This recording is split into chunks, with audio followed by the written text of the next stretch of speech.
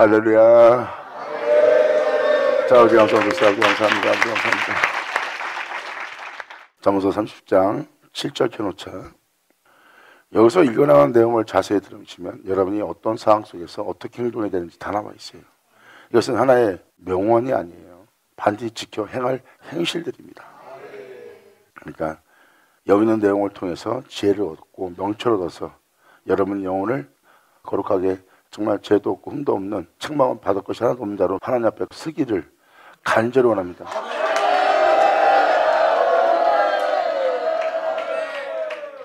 여러분이 알고 있는 걸 남한테 가르치기 쉬워요. 그 때문에 주님은 가르친 자가 가르치고도 그 말씀을 행하지 않으면 너희는 그 행하지 않는 것을 본받지 말고 그 가르치는 그 가르친 대로 너희는 행할지니라 그랬어요. 사람은 하나님 말씀을 통하여 남을 가르칠 교훈을 가져서 그 교훈을 남들한테 알게 합니다. 근데 대부분 좋은 말은 알고 좋은 말을 가르치지만 당사자는 그걸 행하지 않고 있어요. 행하지 않는 건 순종치 않는 겁니다. 그가 제사만 드립니다. 순종 하나도 안 하고. 그러니까 오죽하면 하나님 말씀이 순종이 제사보다 낫다고 기록했겠어요. 너희는 그들의 가르침에 순종하고 그들의 가르침에 행하라. 그들이 그 말씀대로 행하지 않는 것은 본받지 말라. 그리고 그들이 그렇게 말씀대로 행하지 않는 것을 너희는 정죄치 말고 오히려 너희는 그것을 듣고 지켜 행하여 행하지 않는 그의 주의 종으로 부끄럽게 여김받게 하라 했어요. 말씀에 순종치 않고 행하지 않으면 큰일 납니다. 그래서 여기 있는 지금 읽어주는 내용대로 행하시면 생명은 보는 자가 돼요. 그 생명은 바로 여러분들을 인해 망치 않고 인해 심판받지 않고 인해서 죽지 않고 바로 하나님의 진노를 명쾌합니다. 예수 안에 거하면 그 예수님 안에서 여러분들을 영원히 살게 하라는 거예요. 여러분 이 정도는 괜찮겠지. 그거는 여러분 생각이에요. 죄악의 맛을 잠깐 보고자 영원함을 잃어버린 겁니다. 맛볼 필요도 없는 거예요. 왜 죄로 기쁨을 느끼고 왜 죄로 즐거움을 느끼고 왜 죄로 여러분들의 마음을 즐겁게 하려고 그래요? 아무 유익도 없는데 잠깐 달콤하게 보일 뿐이지 여러분들의 영원한 생명을 갉아먹는 것이고 영원한 생명이 여러분과 영원히 함께 할 수 없는 자가 되게 하는 거예요. 예수님은 하나님을 떠나게 하지 않고 하나님이 거할 집이 되게 합니다.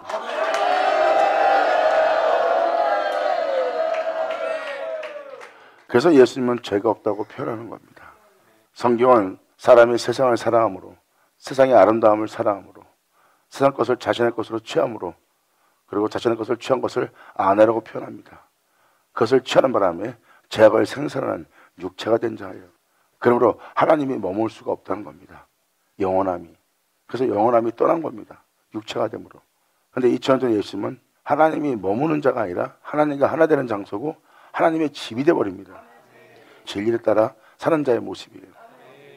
영원한 생명이 자신을 떠나지 않도록 영원히 자신을 주님 앞에 있게 하는 자. 바로 이것이 예수 아니에요. 예수님이 그러한 집이 된 것처럼 하나님은 또 다른 새 예루살렘을 표현합니다. 하나님의 집이 되도록 할 새 예루살렘이 예수로 인해 나오리라.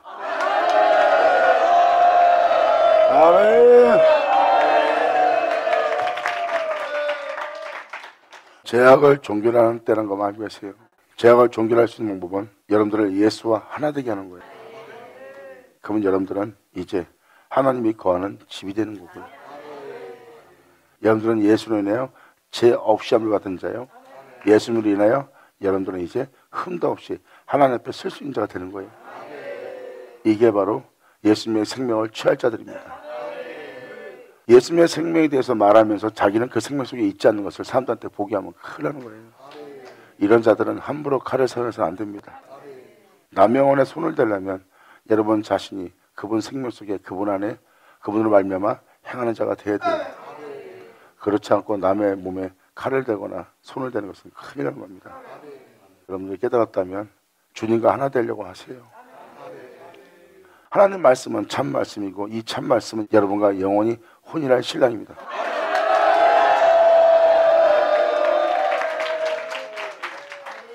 자, 잠언서 30장 7절에 이렇게 말합니다. 내가 두 가지 일을 주께 구했사오니 나의 죽기 전에 주시옵소서. 내가 죽기 전에 달라고. 이건 뭐예요? 죽기 전에 주지 않으면 자기는 예수님을 부인할 수밖에 없는 주님을 배신할 수밖에 없는 존재인 것을 인정하는 거예요. 그러므로 죽기 전에 이것을 내게 주어 나로 부끄러운 죽음을 당하지 않도록 주님 내게 이 은혜를 베풀어 주셨소서. 곧 허탕과 거짓말을 내게서 멀리 하옵소서. 내가 어떤 것을 쫓지 않도록 내가 거짓말하지 않는 자가 되도록 이것을 내게서 멀리하게 하옵시고 나로 가난케도 마옵시고 부하게도 마옵소서 오직 필요한 양식으로 내게 먹이시옵소서 날마다 주님 뜻을 따라 행할 수 있도록 그 양식을 내게 주소서 몰라서 행하지 못하던 것을 행할 수 있도록 헤아리지 못해서 행할 수 없는 것을 할 수 있도록 보지 못하는데 보는 척했던 이 모든 것으로부터 보고 행할 수 있도록 전적으로 주님만 의지하여 주님 안에서 날마다 내가 시온산에 올라갈 수 있도록 날마다 그 산을 향하여 달려갈 수 있도록 항상 한 걸음 한 걸음 떼며 한 걸음 한 걸음 나아갈 수 있는 필요한 양식을 내게 먹여 주시옵소서. 아멘.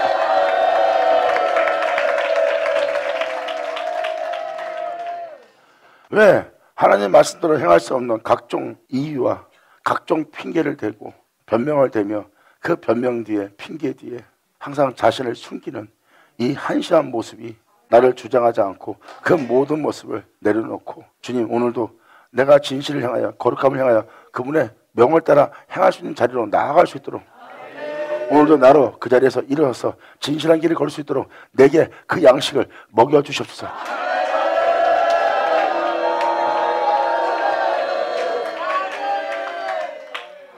이게 우리가 구할 은혜. 그래서 죽기 전에 이것을 내게 부어줘서 나로 이 필요한 음식을 먹게 하셔서 내려놓지 못할 때 내려놓을 수 있도록 버릴 수 없을 때 버릴 수 있도록 주님을 따를 수 없을 때 따를 수 있도록 또한 오늘은 내가 따랐으나 그 다음날 내가 따를 수 없는 자신을 발견합니다. 오늘은 내가 이 모든 걸 버리고 내가 순종하고 나아가는데 그 다음날 또 버리지 못해서 내가 나아가지 못하는 나의 나약함과 연약함을 보고 있는 거예요. 영원한 삶 속에 살 수 없는 나 자신을 보나이다. 또 나로 일어서서 나아갈 수 있도록 또 알 수 있도록 또 볼 수 있도록 또 헤아릴 수 있도록 또 분별할 수 있도록 나마다 주님을 경외하며 정직한 길로 나아갈 수 있도록 내게 필요한 양식을 내게 또 먹여 주시옵소서. 아멘.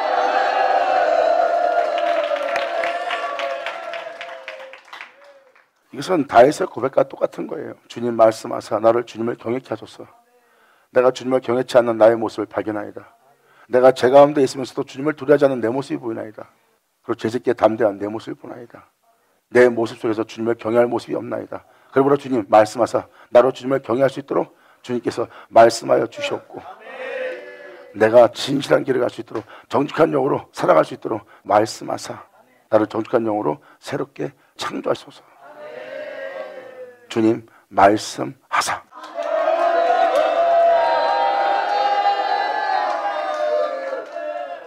이런 나의 양식을 먹여달라는 거예요. 이러한 자가 될 수 있도록. 이것이 바로 여러분들이 날마다 그 필요 양식을 공급해주는 주님을 바라봐야 됩니다. 성경의 핵심은 이거예요. 바로 주님은 영원한 반석입니다. 영원함에 죄가 없어요. 영원함에 어둠이 없습니다. 그 영원함을 이길 수 있는 건 아무것도 없어요.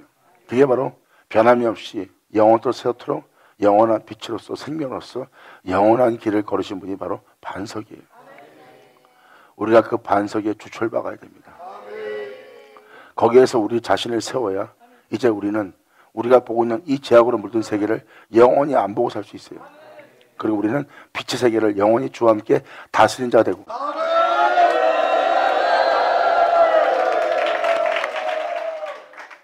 이것이 날마다 우리가 먹을 필요한 양식입니다. 주님 이 양식을 우리에게 공급해 주시옵소서. 혹 내가 배불러서 하나님을 모른다.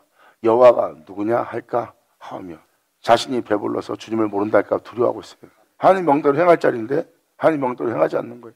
배불러서. 하나님 명대로 행하지 않고 하나님 걸 행해놓고 두려운 줄 모릅니다.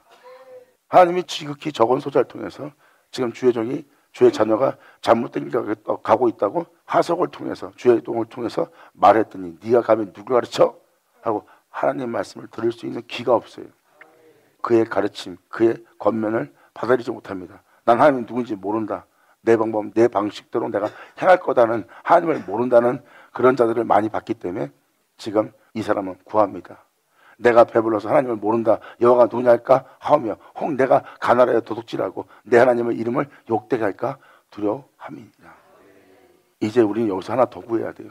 우리가 가난해져도 주를 부인하지 않는 자에게 없어서.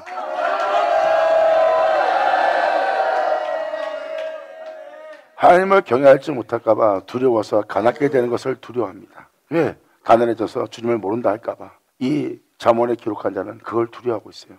자신의 죄성을 보고 두려워하고 있어요. 여기다 우리는 덧붙여서 우리가 가난해진다 해도 그것도 끔찍한 가난 속에 있을지라도 끔찍한 환난 속에 있을지라도 주님을 결코 부인하지 않고 경외할 수 있는 우리들에게 없어서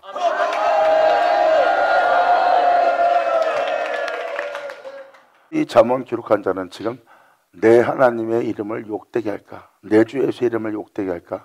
두려워하고 있는 모습이에요 우리 또한 이 은혜를 구하는 것은 우리가 주 예수의 이름을 더럽힐까봐 우리도 두려운 겁니다 저와 여러분이 그분의 이름을 욕되게 되게 하지 않는 우리 모두가 되기를 우리의 모든 것을 버리고 우리가 주님을 위해서 모든 환난과 끔찍한 속에서 있을지라도 주님을 영어롭게 대기하며 그분을 경외하며 그분을 높일 수 있는 우리 모두가 되기를 간절히 축원하고 간절히 바랍니다. 아멘.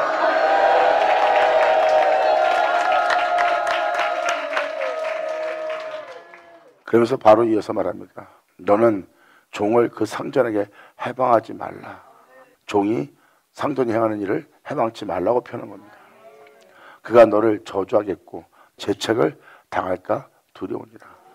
하나님 말씀에 여러분이 반발하는 것은 상전을 해방하는 거예요. 하나님 말씀대로 살라는데 이 아이가 굳이 그럴 필요 뭐 있어? 이렇게 해도 되는 거 아니에요? 이렇게 이 아이가 반발하는 게 종이 상전한테 해방하는 거랑 똑같은 거예요.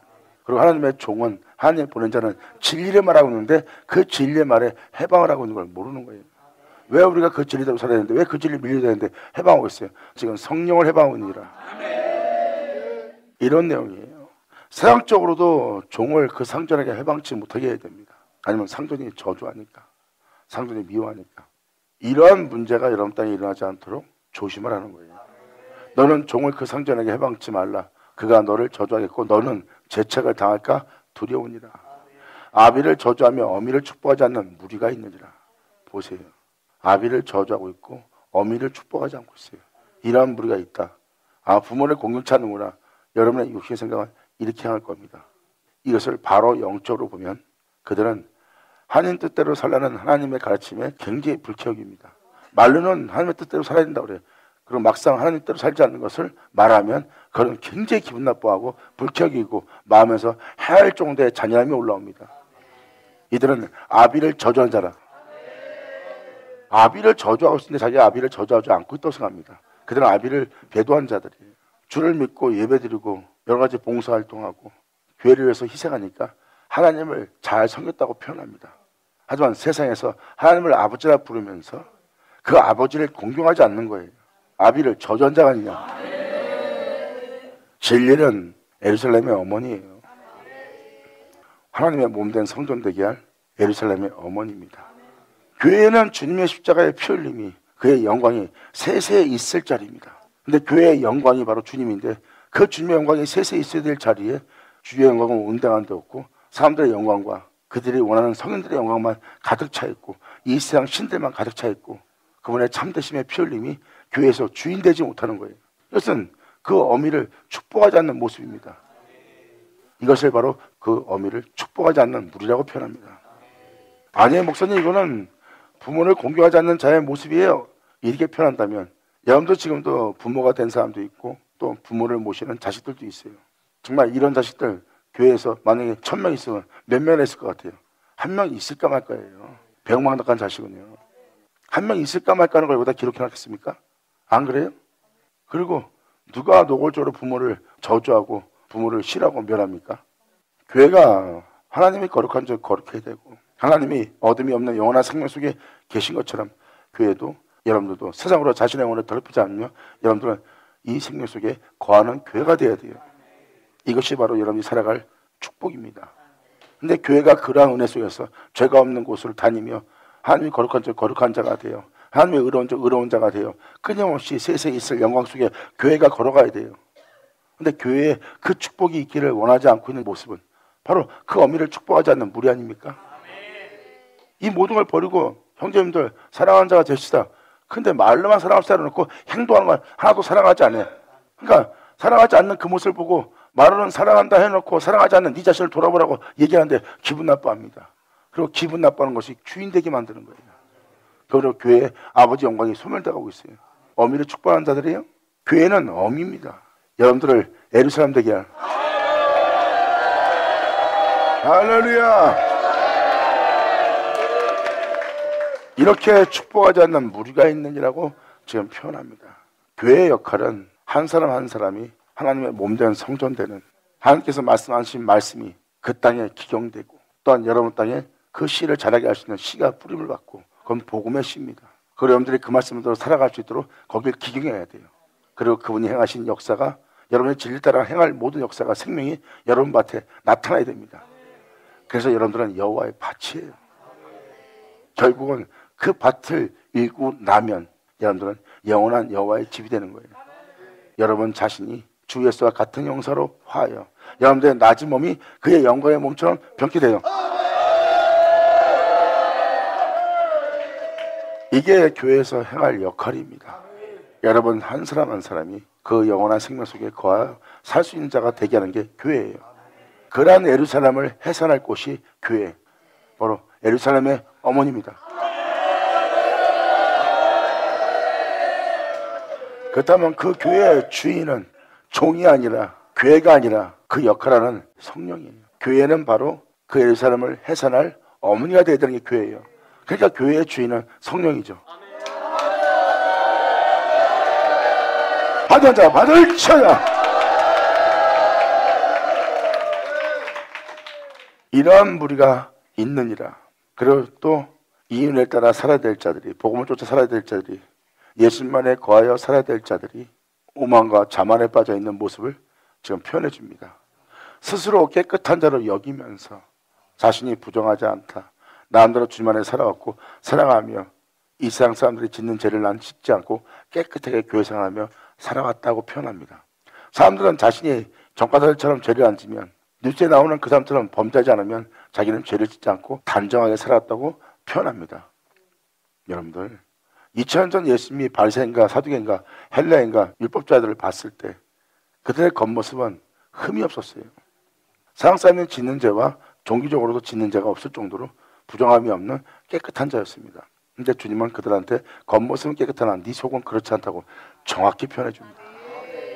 자신이 깨끗한 줄 여긴다면 분명히 여러분들은 지금 하나님의 눈으로서 깨끗함을 본 것이 아니라 하는 말씀으로 깨끗함을 본 것이 아니라 여러분 자신의 방법과 여러분 자신의 보는 시야로 자신이 깨끗한 자인 것을 여기고 있는 거예요. 하지만 자신이 깨끗한 자로 여기고 있는 그 장소에 여러분이 깨끗지 않은 것이 많다는 것을 주님은 지금 표현해 준 겁니다. 그러한 착각 속에 깨끗지 아니한 것이 많다는 것을 그러니까 여러분이 보는 시야가 얼마나 위험한지 보여주는 거예요. 그러니까 이 30장 아굴의 잠언을 보세요. 자기는 딴 사람에 비하면 짐승 같은 존재라. 나는 다른 사람에 비하면 죄가 없고 미련한 자라. 왜 이렇게 자신을 낮추면서 주님만이 나를 새롭게 할 수 있다고 표현했을까요? 바로 이런 걸 12절 내용을 알기 때문입니다. 사람이 깨끗하다고 여기는 그 장소에 깨끗이 못한 게 굉장히 많다는 것을 자신이 그러한 자인 것을 알고 주님께 구하고 또한 그러한 시야로서 여러분들을 보는 겁니다. 그러므로 스스로가 깨끗하다고 표현한다면 굉장히 위험한 장소에 있음을 알게 해주는 거예요. 그러므로 스스로 깨끗한 자로 여기면서 오히려 그 더러운 것을 씻지 않는 무리가 있느니라. 지금도 이러한 무리가 있음을 표현합니다. 지금도 무리를 표현해요. 교회에 있는 무리, 교회가 교회끼리 뭉친 무리, 그러한 무리들, 당을 짓는 무리들을 표현합니다. 스스로가 깨끗하게 여겨지면서 자신의 더러움을 보지 못한다는 거예요. 그러므로 그 더러움을 보고도 자신이 의로운 말, 좋은 말, 참된 말, 깨끗한 말, 아름다운 말, 미사고를 사용합니다. 그리고 그 말씀대로 그 미사고대로 그 아름다운 말대로 살지 않고 있는 자신의 더러움을 보고도 씻지 않고 있는 거예요. 여러분 형들 사랑합시다. 이렇게 합시다. 저렇게 합시다. 그리고 그러지 않는 자신을 보고 있으면 빨리 씻어야지. 깨닫자. 깨달을 쳐다. 아멘. 주의 종들이나 성도들은 항상 단에 주님이 주인 되게 해야 돼요. 종의 생각이 종의 주관적인 사고가 성도들의 사고가 성도들의 주관적인 방법이 교회를 운영하는 방법이 이 모든 걸 꾸려가는 방법이 단의 주인 되면 안 됩니다. 단의 주인은 오직 주님만 주인 돼야 돼요. 아멘.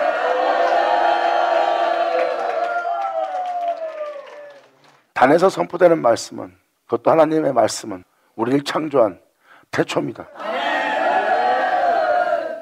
우리는 태초로부터 나온 모든 말씀에 귀를 기울일 줄 알아야 돼요. 우리는 그의 말씀을 들어야 되고 그의 말씀대로 살아야 되고 그 말씀 안에 거해야 되고 그 말씀으로 말면 맞춰야 돼요. 그 맞춘 자들 잘 보세요. 그 말씀대로 지어진 자지. 할렐루야!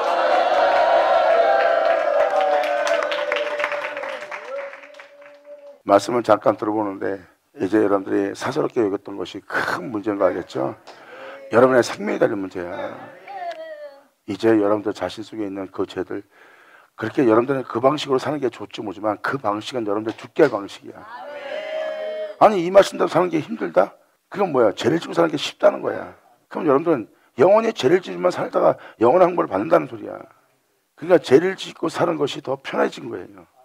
근데 하나님의 영의 사람들은요, 끔찍한 속에서도 하나님 명도 사는 게 편하다니까. 이게 바뀌어야 되는 거야. 그리고 오늘날은요, 제약이 종결돼야 되는 거야. 제약이 종결된다는 것은 한 사람 한 사람이 예수로 거듭난다는 거예요. 예수로 인하여 점심을 받아 예수로 인해 하나님 앞에 나아가면 얻을 자.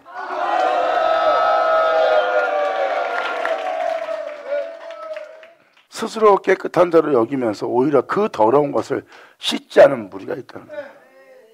스스로는 깨끗하다. 그리고 좋은 말씀만 전하니까 자기는 깨끗한 자고 보고 있어요. 근데 자기가 전한 말대로 하지 않고 자기가 이렇게 해라 해놓고 그 말씀대로 행하지 않는 그 더러운 것을 씻지 않는 무리 잘 생각해 보세요. 이 엄청난 무리가 많은 걸 알 겁니다.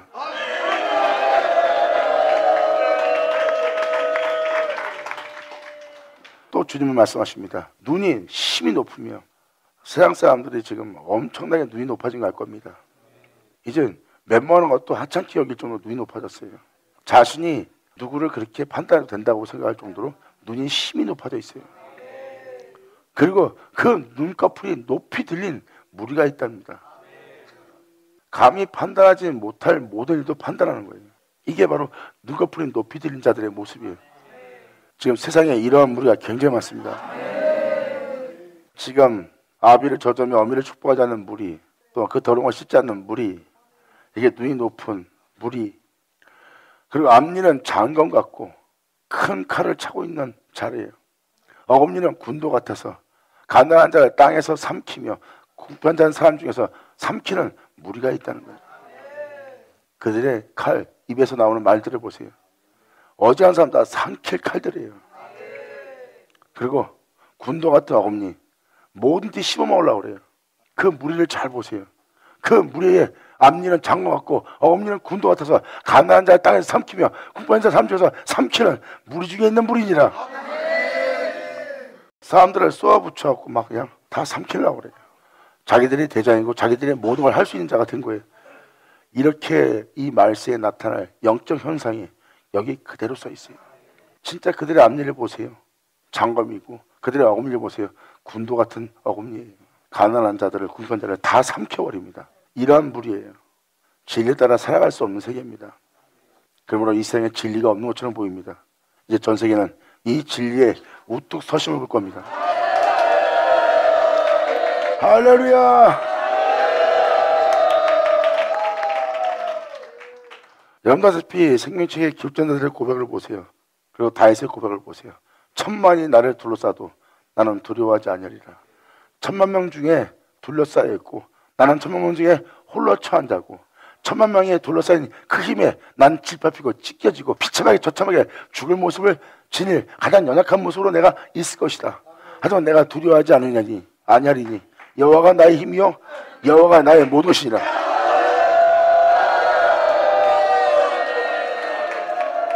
그런 천만 명에게 둘러싸일 자도 두려움 없이 슬 진리로 세워질 자들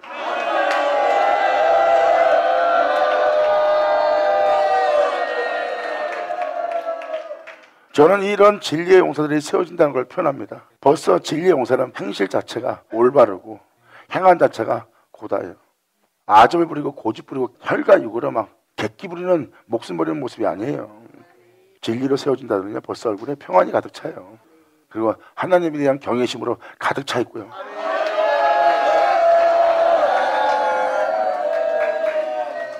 진리로 세워진다는 예수님처럼 주님께 모든 걸 맡기며 주를 바라오며 그 영혼들을 향해서 진짜 저들의 죄를 용서해달라고 구하는 온유한 자로서의 모든 걸 맞이하는 자의 모습이 진리로 세워진 자라.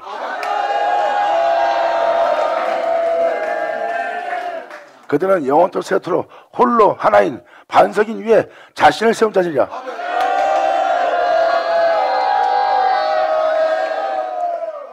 그러므로 여러분들은 현재 돌아가는 시대를 보면 현재 11절, 12절, 13절, 14절의 무리를 지금 이 시대에서 여러분들은 보고 있을 겁니다. 다음 절에 읽을 말씀도 바로 그 얘기예요. 이러한 무리들이 지금 세상에 무척 많습니다. 이러한 무리에 섞여 있을래요? 주님 안에 거하여 주님으로 말미암아 행하는 자가 되야죠. 예수님은 바로 태초입니다. 여러분들은 그 태초부터 나온 자예요. 여러분이 알고 믿고 신뢰하고 거할 곳은 태초뿐입니다. 죄가 없는 장소. 우리 모두가 그 장소로 돌아가야 되고 그 장소 에 거해야 되고 우린 그런 말미암아 맞춰야 돼요.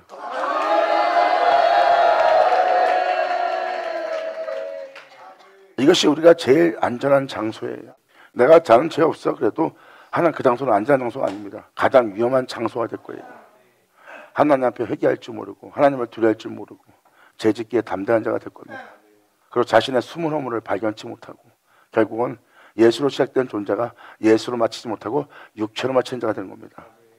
예수로 마치는 자들은 바로 그 말씀대로 지어지는 자로 마칠 겁니다.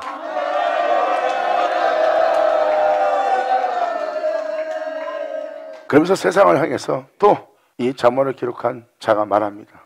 이 영적인 사역자는 지금 말합니다. 거머리에게는 두 딸이 있다. 딸이란 건 뭐예요? 그러한 재성을 해산할 딸들이에요. 다고다고 하느니라 달라고 달라고 하는 자들이란 거예요. 줘도 줘도 달라 달라 하는 상태래요. 이 생에 피 빨아먹는 거머리 같은 인간들이 있다. 거머리는 피 빨아먹는 자예요. 이게 거머리 같은 인생들입니다. 남의 피를 빨아먹고 사는 자예요. 자기 이익을 위해서 전혀 두려워하지 않습니다. 그리고 족한 줄 알지 못하여 족하지 아니한 것 서너 가지가 있나니 부족해서 계속 달라는 거예요. 족할 줄 모르는 사람들이에요. 그래서 감사할 줄 모르는 거 보면 그 영혼은 잘해도 감사할 줄 모르고 이런 상황이 왔는데도 감사할 줄 모르는 거야. 이러한 영들이 있어 그런 줄 알지어다. 거머리에게는 두 딸이 있어. 다고다고 하느니라. 달라달라 하느니라. 족한 줄 알지 못하여 족하다 하지 아니하는 서너 가지가 있나니. 바로 음부. 그러한 서너 가지가 있다는 것이 음부고 그리고 절대 이 진리를 따라 살 수 있도록 진리를 이 아이를 배지 못하는 자. 그리고 여기서 말하는 아이는 진리입니다. 이 아이를 배지 못해요. 주님 말씀하신 네 아비는 마귀라. 너는 마귀의 새끼라. 너는 처음부터 살인한 자요 너는 네 아비의 마귀처럼 욕심을 내는 자라. 그러면 진리가 네 안에 서지 못함으로 진리가 서지 못하는 것은 진리가 여러분 땅에 세워지지 않는다는 것. 진리가 세워지는 것은 진리를 잉태하지 못한다는 겁니다.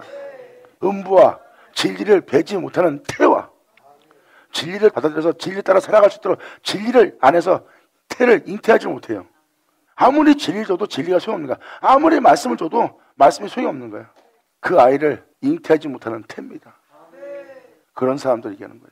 음부, 진리를 배지 못하는 태, 그리고 물로 채울 수 없는 땅, 하나님 말씀으로 채울 수 없는 땅, 그리고 족하다 하지 못하는 불이래요. 자신의 영혼을 괴롭게 항상 고통 속에 있게 하는 불이래요. 족하지 않기 때문에, 만족하지 않기 때문에 항상 힘든 거야. 그 힘들었고 고통스러운 것이 불이니라.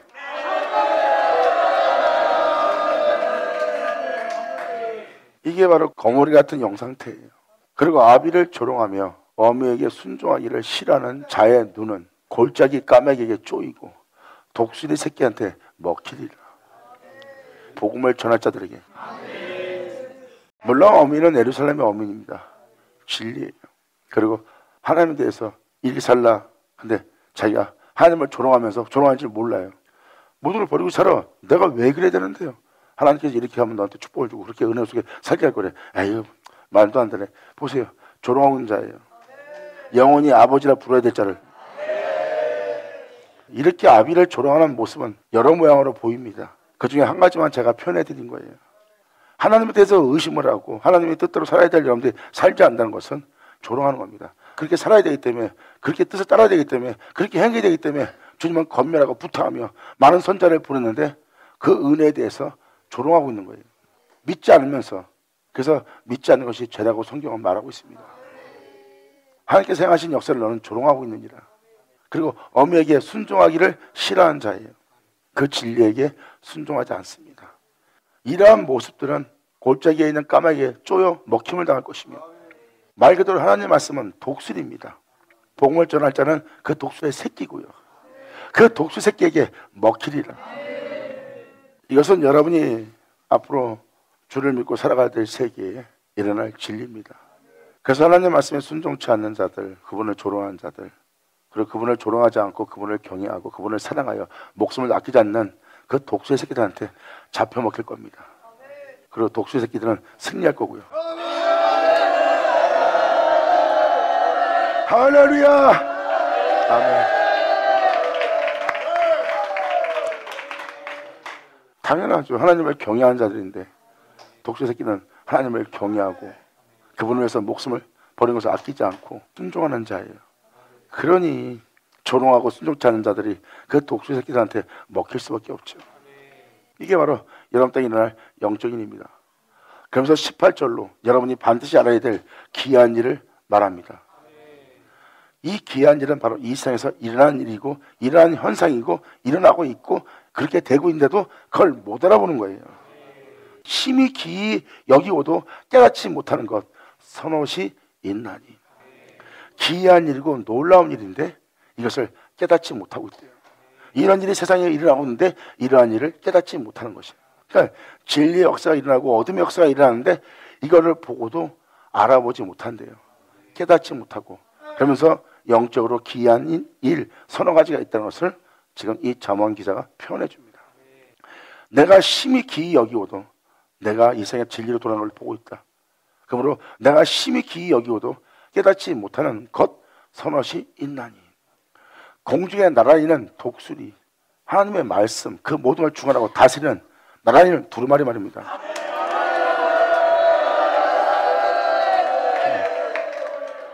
모든 건 진리가 주관하고 있고 뿌린 대로 걷어들이는 진리의 세계예요.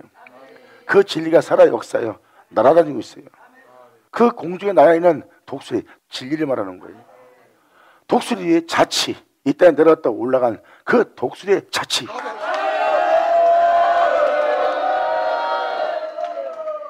그리고 영원토 세트로 있는 홀로 행하시는 그 반석 위에 기어다니는 뱀이 있대.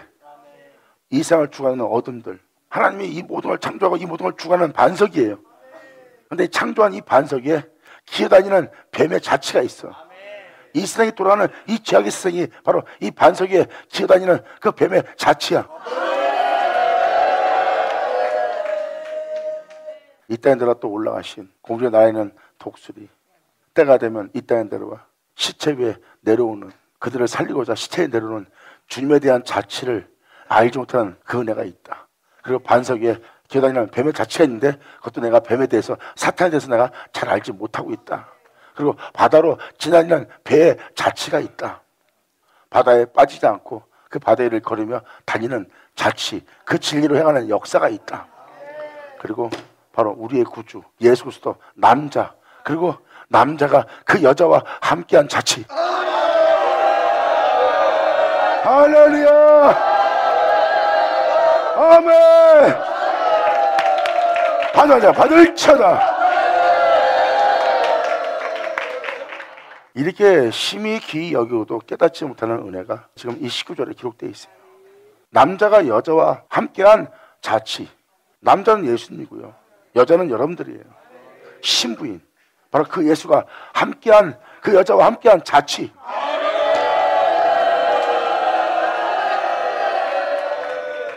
이렇게 주님이 알포메가 바로 여러분과 함께한 그 흔적이 있는데 그 흔적을 내가 다 헤아리지 못하고 있대요. 공중에 날아다니는 독수리의 자치, 이 땅에 내려왔다 올라가신 주님, 그리고 반석 위에 기다리는 이 세상, 이 사탄의 깊이와 넓이를 내가 아직도 알아보지 못하고 있다는 거야. 그리고 바다 위를 다니는 배에 대해서 주님과 함께 바다 위를 타고 있는 그 자치에 대해서 그리고 남자가 여자와 함께한 자치 내가 주 예수와 하나인이라는 그 자치 그래서 바로 이어서 이렇게 표현합니다. 음료의 자취도 그러하니라. 이 세상에 음료가 돌아다니고 있고 죄악이 돌아다니고 있고 악이 죽어나고 있는데 거기에 대해서 다 알지 못한대요. 내가 이것을 심히 귀히 여긴다는 거예요. 이제 이 사람은 영적인 눈을 떠서 어둠과 빛을 분별하며 영적인 세계에 지금 들어가고 있는 겁니다. 그러므로 내가 음료의 자취도 내가 심히 여기고 있다. 그러므로 그러하니라 그가 먹고 그 입을 씻은 같이 말하기를 내가 악을 행치 아니었다 하느니라. 그 음녀가 이런 귀한 일을 영적으로 보고 있는 거예요. 깨끗하다 하나 더러운 것을 씻지 않는 자의 모습. 이건 뭐예요? 깨끗하다 하지만 더러운 곳에 있다는 거예요. 깨끗하다 하면서 더러운 것을 씻지 않는 자의 어리석음을 보고 있는 겁니다. 네가 깨끗하다 그러면 지금 더러운 걸 보고 있는 그 더러운 걸 씻어야지. 근데 안 씻습니다. 뭔가 잘못된 거죠. 음료 잡수 그러니라 그가 먹고 그 입을 씻은 같이 말하기를 내가 악을 행치 않았다는 거예요. 그가 먹고 자기가 그 입을 씻고 나서 자기는 악을 행치 않았대. 여전히 악 속에 있으면서. 그러니까 자기 자신을 못 알아보는 거예요. 그런 자에게 그 죄로부터 구원코자 이러한 죄로부터 구원코자 빛을 비추는데 자기가 이러한 깨끗함 속에 이러한 심 속에 있으니까 자기가 죄인이라고 인정하지 않아. 그러면서 그 죄로부터 구원할 빛을 비췄는데도 그들은 그 빛을 보고도 어둠이 깨닫지 못한 상태예요. 바로 이 세계에서 나와 그 빛비침의 생명 속으로 들어가야 될 자들이. 이렇게 영적인 귀한 역사를 지금 이 잠언 기자는 표현하고 있습니다. 이러한 귀한 일이 이 땅에 있는데 이 땅에 내가 또 올라가는 구원의 주님에 대한 바다의 일을 다니는 남자가 여자와 함께한 그 은혜, 그 놀라운 약속의 은혜가 있는데도 이걸 다 헤아리지 못한대요. 그리고 음녀가 이런 모습인데도 이것을 자기가 알지 못한대요. 이렇게 놀라운 귀한 일이 세상에 벌어지고 있대요. 그리고 이 일로 인해서 벌어진 일을 다음 절에 이렇게 말합니다. 세상을 진동시키며 세상으로 견딜 수 없게 하는 것 선엇이 있느니라. 이로 인해서 세상이 지금 이러한 방법으로 돌아가고 있대요. 말씀을 통해서 여러분들은 지금 현재 세상을 보세요. 그러면 그런 걸 그대로 볼 수 있어요. 종이 임금된 것과 종이 자신이 왕이 되어버렸어요. 주님이 왕 되지 못하고. 그분의 이름으로, 그분의 말씀으로, 그분의 역사로 자신이 주인 되어버린 거예요. 그 말씀이 그 존재의 주인 되지 않고 주인이 주인 되 되는데 그 말씀이 왕이 왕이 되 되는데 종이 왕이 되어버린 거예요. 말씀은 이렇게 하라 그랬는데 그렇게 하라 말만 생각하고 자기의 방법대로 행하는 것이 자기가 왕이 되어 있는 거예요. 자기의 뜻이 자기의 원함이 자신의 인품대로 성격대로 행할 수 있게 하는 것이 주인 된 거예요. 종이 임금이 된 것과 미련한 자가 오히려 배불러 있는 것과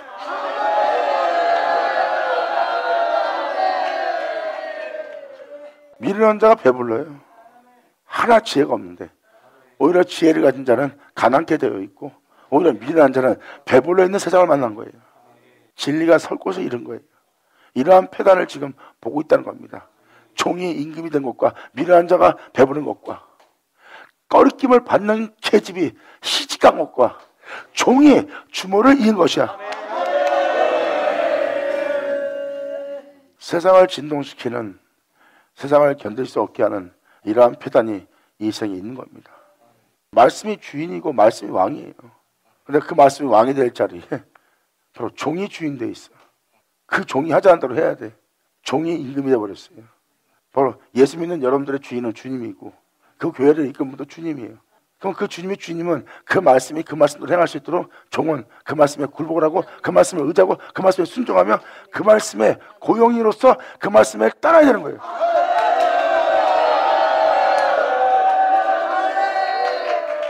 근데 종이 임금이 되었네. 깨닫자, 깨달을 쳐다. 아멘. 지혜를 가진 자가 배부르고 살아야 되는데 미련한 자가 배불러 있는 세상을 보고 있는 겁니다. 악을 행한 자가 힘이 있어졌고 형통한 세계가 됐어요. 이것이 바로 어리석고 미련한 자가 배불러 있는 세상입니다. 그리고 꺼리낌을 받는 계집이 시집을 가버렸어요. 더 잘 되는 걸 보는 겁니다. 이게 바로 세상에서 어떻게 저건 잘못된 자가 더 형통하고 더 잘 되냐? 그걸 꺼리낌을 받는 계집이 시집을 가버렸네. 그리고 계집종이 주모를 있습니다. 어느 누구한테도 섬길 수 없고 베풀 수도 못하는 계집종이 주모가 돼 있어요. 거기를 운영할 수 있는 자가 된 거예요. 계집종이 주모를 인 것이라. 주님의 자녀를 젖먹일 수 있는 자가 된 것처럼 이러한 폐단이 교회의 세상에 돌아가고 있다는 거예요. 참으로 놀라운 일이죠. 이것이 바로 세상으로 견딜 수 없게 만드는 제약이란 것입니다. 이러한 세상에 주님이 내려오십니다. 주님께서 만물을 새롭게 하리라. 아멘.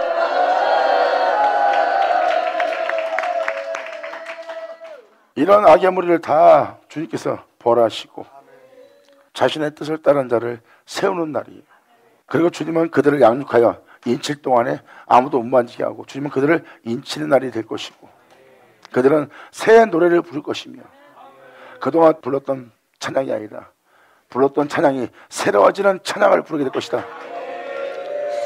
불렀을 때는 그냥 찬양이었는데 다시 부르니 주님 손에서 새롭게 된 찬양이 되어 이제 그 찬양이 달콤하고 그 찬양이 즐겁고 그 찬양이 자신의 영혼을 진짜 풍요롭게 만드네.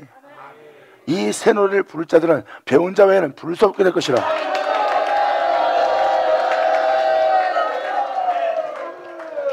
그들은 찬양 한 절 한 절을 새롭게 부르기 위해서 하나님께 배우는 자들이에요. 바로 그 진리를 배운 자, 그 가르침을 받은 자들은 새 노래를 부를 수 있는 놀라운 은혜 장소로 들어간다고 성경은 말하고 있습니다. 세상이 이렇게 된 것은 이러한 영성태 서너 가지가 있었기에 세상이 진동한 겁니다. 종이 임금이 되는 바람에 말씀이 왕이 되고 말씀이 주가 돼야 되는데 말씀이 주장하고 말씀이 주가 되면 그 사람 통해서 하나님 말씀이 왕이 되어 하나님 말씀이 그를 부리며 하나님 말씀이 그를 통해서 나오는 그 진리를 볼 수 있어요. 근데 그 존재의 법을 보시고 그 존재의 인품과 인격을 잘 보세요. 하나님이 주인인지 하물의 명령의 법이 주인인지 그 존재의 가지함이 주인된지 잘 보세요. 종이 임금 됐어. 2000년 전 예수님의 모습을 보세요. 인간들이 욕심을 내며 탐욕을 내며 살아갈 수밖에 없는 정령을 도모며 살아갈 수밖에 없는 세상의 천막 영광을 쫓으며 부양 속에 살아갈 수밖에 없는 육체를 입고 온 분이 예수님이에요. 근데 그 죄의 성품이 그 죄의 인격이 그 탐욕의 인품이 탐욕의 인격이 예수님한테 주인 되지 않으니 바로 이 모든 걸 창조하고 이 모든 걸 주관한 공의로운 주님이 주인 돼 있어. 이것이 바로 주님이 왕이 되는 자리라.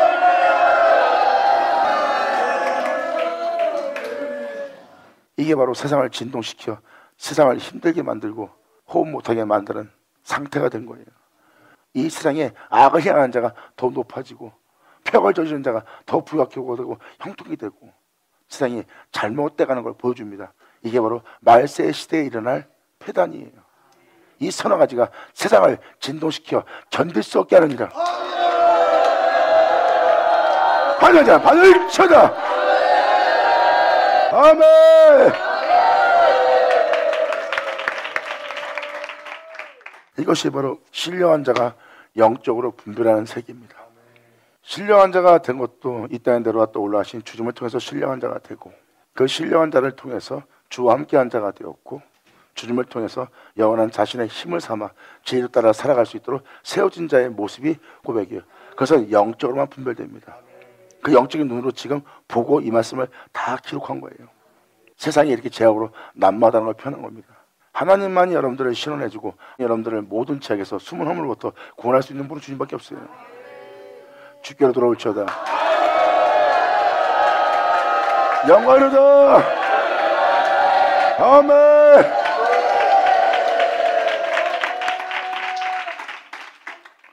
그러면서 여기서 또 놀라운 애를 표현합니다. 이 땅에, 이 세상에, 여러분 살고 있는 이 세상에 작고도 가장 지혜로운 것 넷이 있나니. 그래서 어떤 벌레들을 표현해 주는 게 아니에요.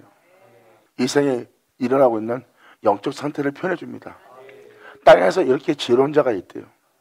땅에서 작고도 가장 지혜로운 것이 넷이 있나니 곧 힘이 없는 종리로 돼 먹을 것을 여름에 예비하는 개미 그 추수 때를 위해서 여름에 그 열매를 그 양식을 모으는 개미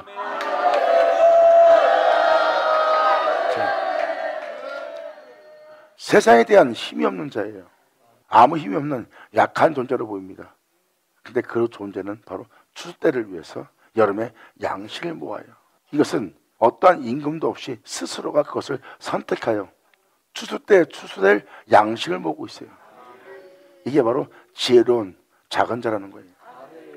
자신을 낮추어 그런 은혜를 모으고 있는 지혜로운 자로다. 약한 종류로 돼. 약한 자. 개미는 지금 작다고 표현했고 이건 약한 종류, 나약한, 연약한 상태의 사람을 얘기합니다. 약한 종류 대 집을 바위 사이에 짓는 사반이 바위 사이에 지어요. 여호와는 나의 피할 바위요. 바로 하나님 여호와를 자신의 바위로 삼아 그 하나님 뒤에 그 하나님 옆에 자기의 집을 짓는 자예요. 약한 종류대 집을 바위 사이에 짓는 너구리 사반이라고 표현합니다. 자기가 약하기 때문에 피할 바위이신 주님께로 가는 거예요. 여호와는 나의 피할 바위여 반석이요 나의 산성이라 요새라. 내가 약하기 때문에 주님이 나의 힘이 되시기 원하냐. 개미는 사람을 낮춘 작은 자의 모습을 표현합니다. 주님만 의지하는 거예요. 너구리. 바로 우리가 그런 너구리 영상태예요. 그렇게 힘이 없는 약한 자입니다. 그래서 여호와를 나의 힘을 삼는 거예요. 여기서 써있듯이 이 땅에서 지혜로운 서너 가지가 있다는 걸 표현합니다. 그러한 영적인 지혜로운 사람들을 표현하는 거예요. 임금이 없을 때 다 때를 지어 나아가는 메뚜기 같다는 거예요. 임금이 없는데 확 뭘 먹으려고 쭉 다니면서 임금도 없는데 결국은 자신이 아무것도 아니란 거예요. 이걸 표현하자면은 개미 상태는 말씀을 먹고 지키는 자고요. 사반의 상태는 포악한 자 속에서 집을 짓는다는 모습이고 이 메뚜기 때는 나는 아무것도 아니라는 겁니다. 항상 아무것도 아닌 것이에요. 준명에 따라 움직일 수 있는 아무것도 아닌 상태. 손에 잡힐만 하여도 왕국에 있는 도마뱀. 아무 힘도 없어도 죽게 맡긴 자의 모습이란 거예요. 왜? 진행했던 야고바 했던 우리가 왕국에 있는 그런 도마뱀 같은 존재니까. 할렐루야! 이게 바로 이 땅의 지혜로운 땅에 있는 영상태의 서너 가지 일이에요. 바로 왕국에 있다는 것은 지뢰 같은 야구 같은 영상태 우리 인생은 도양 같은 인생이에요. 우리가 손에 잡힌 만 해도 왕궁에 있는 거예요. 우리가 아무 힘도 없는 아무것도 아닌 자일지라도 우리는 왕궁에 있는 자예요. 잘 걸으며 유피 있게 다니는 것 선옷이 있나니 선옷 선옷 선옷 선옷 보세요. 이 세상이 바로 이러한 서너 가지의 모든 영상들을 지금 보고 표현하는 겁니다. 전 여러분들이 지혜로운 서너 가지 개미처럼 메뚜기처럼 사반처럼 도마뱀처럼 그런 지혜로운 자가 됐으면 좋겠어요. 여러분 자신이 메뚜기처럼 자신을 높이지 않고 난 아무것도 아닙니다 하고 그 모든 걸 먹고 또 말씀을 모으는 자가 될 수 있도록 여러분은 자신을 낮추는 여러분들에게 간절히 말할 뿐입니다. 그리고 왕국에 있는 동화뱀, 왕국에서 난 도양 같은 존재입니다. 나는 이 지뢰 같은 존재입니다. 나는 정말 진짜 더럽고 추악한 자입니다. 이렇게 고백하며 있는 자가 왕국에 있는 자야. 동양 말 그대로 뱀가에 속하는 거예요. 징그러워요. 근데 그 사람이 왕국에 있어요. 자기 주제 파악을 아는 거예요. 자기가 동화뱀 같은 존재입니다. 이런 더러운 자입니다. 이렇게 미끈미끈한 자입니다. 난 이런 자입니다. 하면서 왕국에 머물고 있는 거예요. 손에 잡힐 만한 모습으로서 왕국에 머물러 있는 자예요. 자신을 낮추어서 아무 힘도 없고 아무것도 아닙니다 하면서 왕국에 머물러 있는 자. 그 영원 지혜로운 자입니다. 할렐루야! 아멘! 이러한 영상태들이란 것을 보면 여러분들이 알 수 있어요. 그래서 왕국에 있는 도화뱀 얼마나 보기 좋아요. 왕국에서 자기를 그렇게 주제파하고 있는 거예요. 주님 나는 주님 앞에 이런 자일 뿐입니다. 아무것도 아닙니다. 지혜롭도다.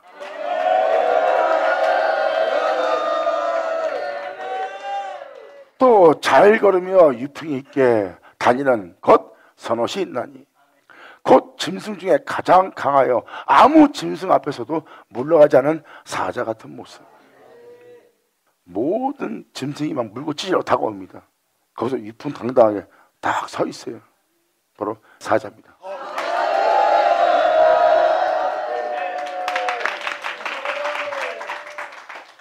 또한 사냥개와 수염소와 및 당할 수 없는 왕이니라. 영적인 싸움도 잘하고 영적인 사냥을 참 잘해요. 그리고 수염소 어둠 속에서 빛을 옮길 수 있는 양들을 염소떼를 잘 잡아내고 그리고 거기서 왕노타는 왕이에요. 그러므로 위풍당당한 사자와 사냥개와 수염소와 및 당할 수 없는 왕이니라. 만일 네가 미련하여 스스로 높은 하였거나 혹 악한 일을 동하였거든 너는 네 손으로 입을 막을지니라.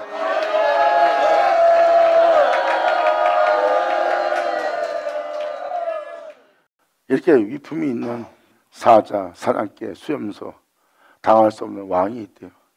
이게 서너 가지. 다 이게 왕에 의해서 움직이는 거예요. 사자의 위풍의 모습, 사냥개 영상을 잘하는, 그리고 수염소, 그리고 왕, 위풍이 있어요. 다 위험이 있고 이게 영적인 사람들의 모습이에요. 만일 네가 밀어나야 스스로 높은 차거나 혹 악한 일을 도모했거나 네 입을 막으려 진짜 큰일 나니까 뿌리들어 걷습니다. 대저 젖을 저으면 버터가 되고 코를 비트면 피가 나는 것 같이 노를 격동하면 다툼이 남이니라. 하나님을 진노케 하지 마라. 진리 따라 행하라. 자, 받으라 자, 받을 쳐자. 할렐루야. 감사합니다. 아멘. 자, 기도하겠습니다. 할렐루야 아버지 감사합니다. 영광 홀로 받으시옵소서. 이 귀한 시간 허락하시고 역사하심을 감사합니다. 진정 아버지께서 말씀하신 이 모든 말씀을 통해서 우리 모두가 행할 수 있도록 우리를 붙드사 그 말씀으로 말미암아 살고 그 말씀으로 말미암아 행하고 그 말씀으로 말미암아 맞출 수 있는 말씀을 의지할 수 있는 우리 모두에게 하여 주시옵소서. 진정 아버지께서 말씀하신 말씀이 우리 땅에서 헛되이 되지 않고 다 이루어지길 간절히 바라며 영광을 돌리며 우리 주 예수님의 이름으로 금 나이다.